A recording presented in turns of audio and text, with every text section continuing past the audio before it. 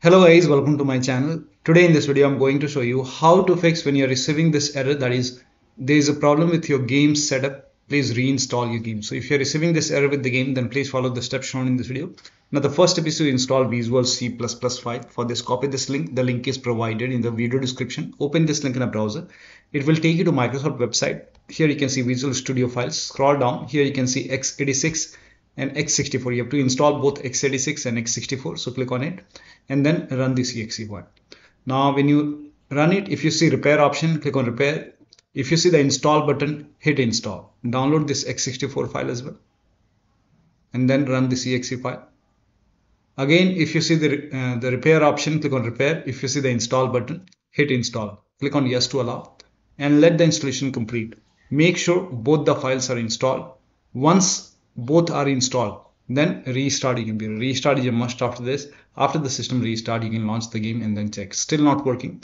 The next step is to install media feature pack. Now for this now this is only for user who are using n version of windows. So if you have windows 10 n edition or windows 11 n edition you can copy this link. The link is provided in the video description. It will take you to microsoft website. Over here you can see media feature, feature pack list for windows n edition.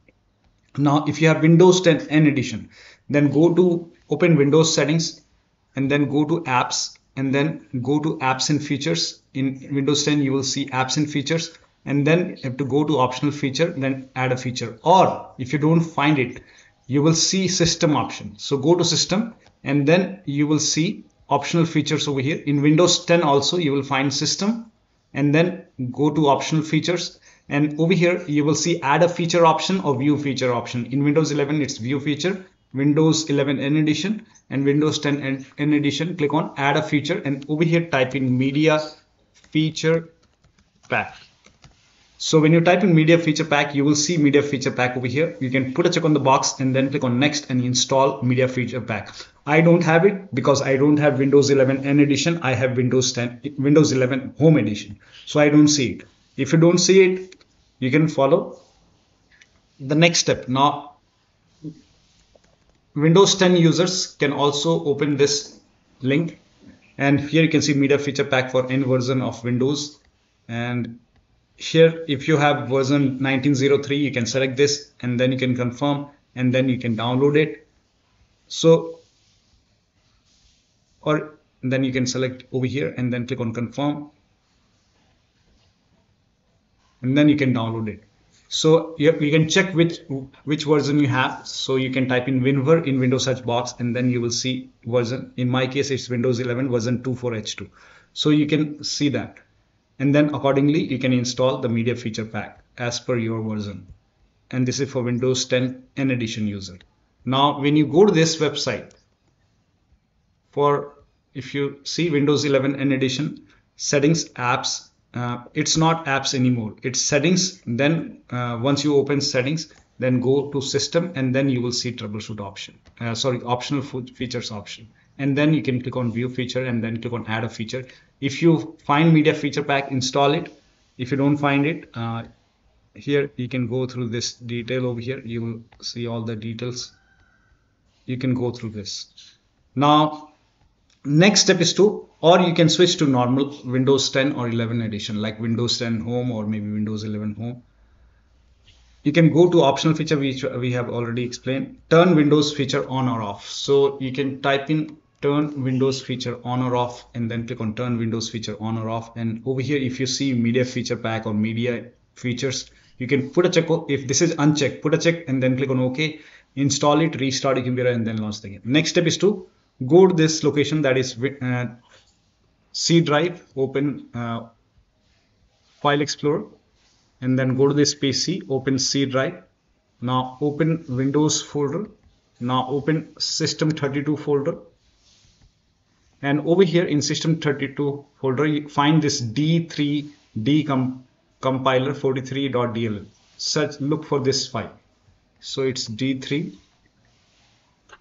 uh, d3d compiler d3d compiler 43.dll so this is the file you can just create a backup copy this file paste it to the desktop once you have a backup created Now delete this D3 dcompiler43.dll. Delete it. Once you delete it, it's gone. 43DLL is gone now. Now we already have a backup though. So if you face any problem, you can always uh, paste, paste it back. Now, when you try to delete it, if you receive error, Epic Games is running or something like that, or any application is running, you can go to Task Manager and you can close that application like Epic Games or any application. And then you can try to move it, try to delete that this file. Now, or you can simply restart your computer and then you can try to delete it and then check. Now visit the Microsoft link. Now copy this link. The link is provided in the video description. Open this link in a browser. It will take you to Microsoft website. And here you will see the download option to install DirectX. Now click on this file. Click on yes to allow. And then accept. Next uncheck Bing bar. I don't want it. Next. And let the installation complete.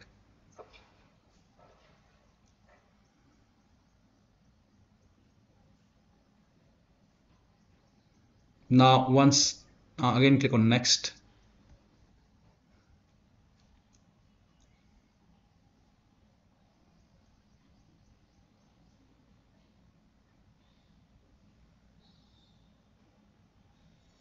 Now once this is done finish it and then you can restart your computer once. And after the system restart I will show you if you go to this location windows we already deleted that file right so let us refresh this page. So here you can see D3D compiler for underscore 43.dll is back. So when you install this file, it uh, it install this file along with DirectX file.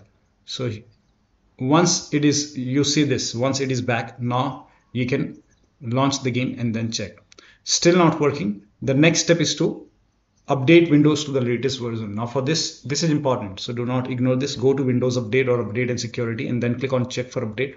Once all the updates are installed, if you see the update, click on Download and Install. And once installed, restart your computer. And after the system restart, you can launch the game and then check. Still not working. Uh, then run EA Apps, Steam or Epic Games Launcher as an administrator. So if you have the game on Steam, then you can go to Steam, then click on Exit and once Steam is closed, now type in Steam in Windows search box maker. I click on Steam and then click on Run as administrator, and then you can launch the game. Similarly, if you have the game on Epic, uh, sorry, EA Games, then exit EA app and then type in EA app and then run as administrator, and then you can check. Do the same thing with Epic Games Launcher. Now, the next step is to verify or repair the game files. If that does not work, you can go to Steam. If you have the game on Steam, make a right click, go to properties, go to install files tab and then click on verify integrity of game files. Once the verification is done, launch the game and then check if you have the game on EA app, click on manage. You will see the repair option. Once the repair is done, launch the game and then check. Still not working. Install any free EA games like Apex Legend and run the game.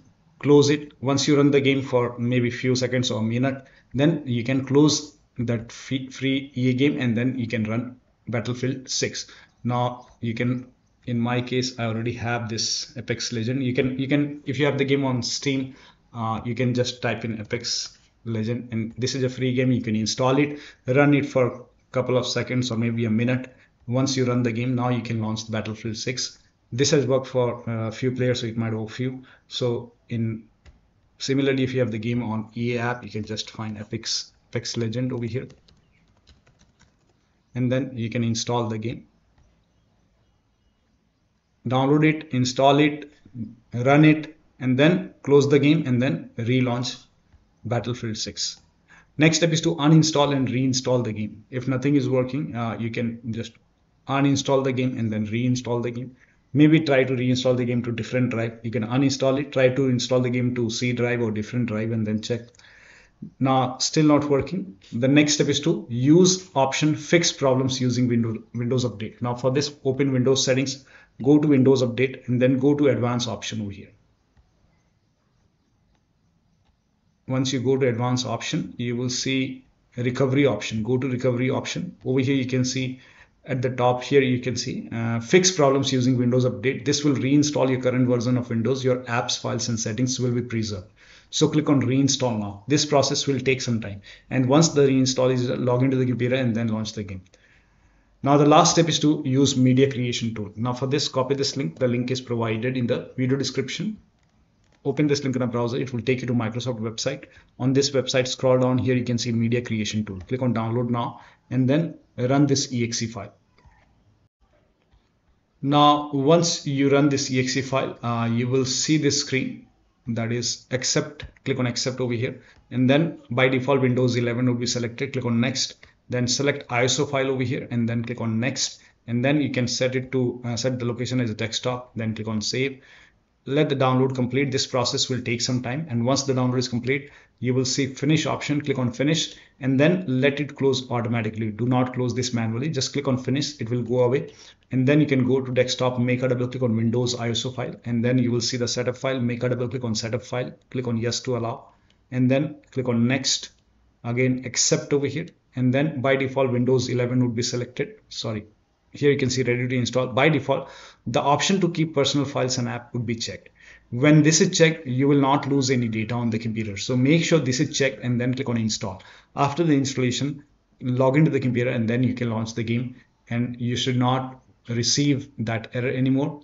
So that'll be all. Thank you so much for your time and please like this video and subscribe to my channel.